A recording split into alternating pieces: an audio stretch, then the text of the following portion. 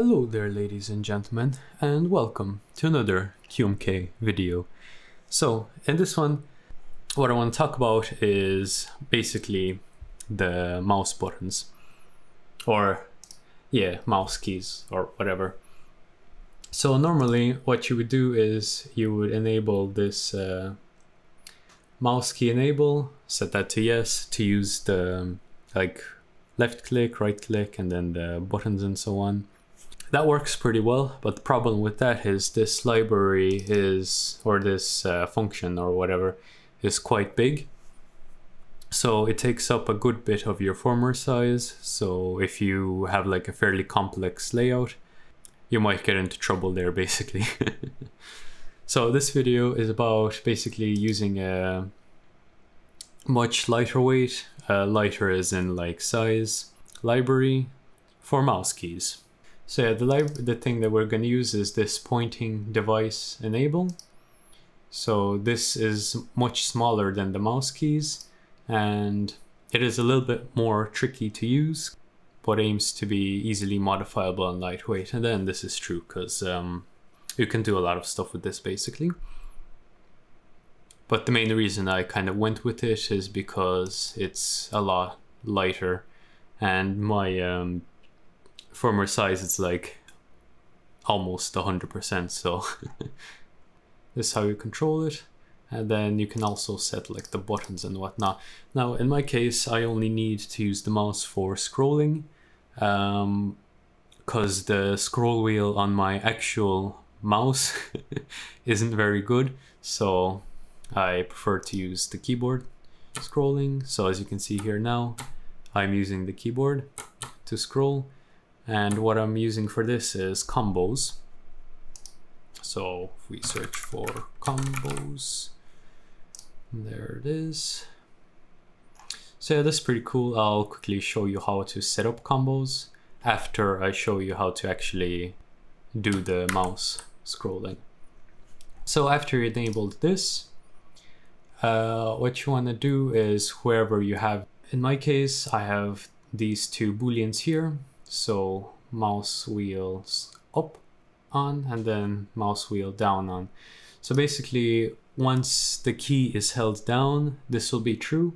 And then once the scroll key is released, this will be false. And then same thing for like scrolling down. So to set them up, I set them up inside my combos. And so yeah, here it is. So just combo scroll up and then just set them accordingly here. So if key is pressed, that's true, and if key is released, that's false. So if you're using macros for this or custom key codes, um, it's pretty much the same thing. So I'll just scroll down here um, just to give you an idea. Okay, I don't really have a good example. Oh, oh yeah, there we go. So yeah, record when pressed. So you would set it to true here. And then if it's not pressed, that means you release the key. You would set it to false here. And so yeah. And then what you want to do is you want to go into your um, matrix scan user function. Uh, if you don't have this already, just create it uh, this is basically a user hook. It hooks into the more the actual deeper functions of QMK. And you also need to have like a scroll timer, but I'll explain that in a second. So then towards the end of your matrix scan, I just have this here, this if statement. So this is all what does the scrolling.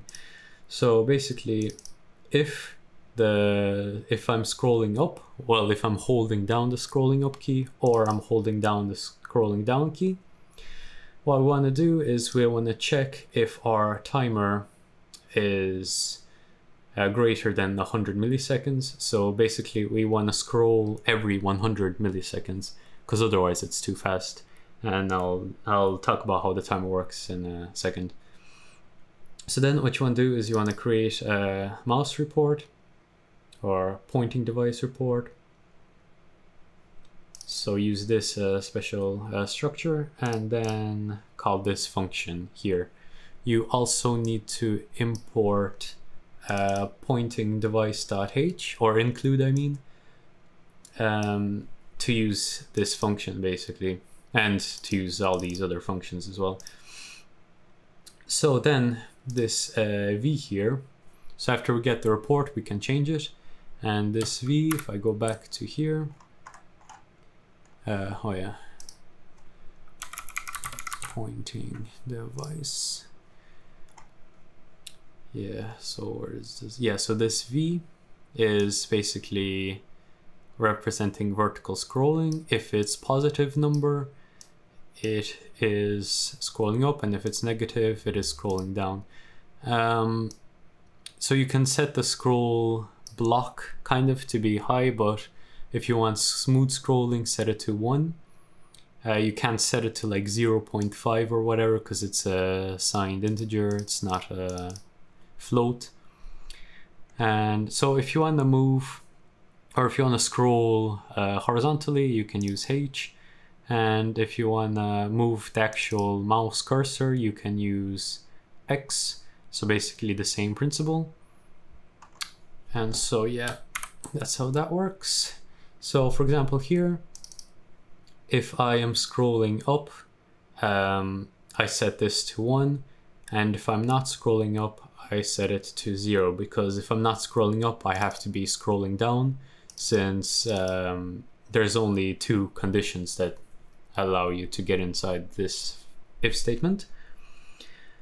And so then I update the current report with this current report and then you send the current port. So this just sends the uh, pointing device thing. So yeah, that's how that works. And so yeah, every 100 milliseconds, uh, this pointing, the keyboard will basically tell the computer like to scroll up once every 100 milliseconds and looks kind of smooth so if I scroll up now Okay, it was a little bit glitchy there, but that's probably because I'm recording. But yeah, it's like fairly smooth, you know, it's usable. And then this way, uh, if you really wanted to, you can have this as a variable. And then with other like macros or whatever, you can decrease or increase the variable. So you can have like higher or slower scrolling speed. I might actually do that later on. Uh, so like increment or decrement this by 10 each time or whatever. I'll see how it is, but for me, um, like this scrolling speed is fine. if I uh, if I want to like, for example, scroll really fast all the way to the top, I just type GG and then the Vim um, kicks in basically. So yeah. Um, so yeah, I only really need this kind of scrolling. So uh, yeah, all right, so now the timer. So I just set it up inside here uh, as an external uint16. And then to start the timer, you would want to start it in um, yeah, you'd want to start it in this hook. So keyboard post init user. So this is when the keyboard like starts up basically. And so you wanna like set the timer here. And then And so here you want to get the timer elapse. So you just call this function and then this checks if 100 milliseconds have elapsed from the time that we called this timer or from the time we set this timer here. So and if it did, then we want to create a mouse report. And then at the end of creating a mouse report, we want to reset the timer. So we just call this function timer.read. And so yeah, this will set this to, let's say, zero or whatever. but yeah. Um, so yeah, that's handy. That's kind of how the timer works. That's how like you would get it exactly. because you could do like uh, how I had it before.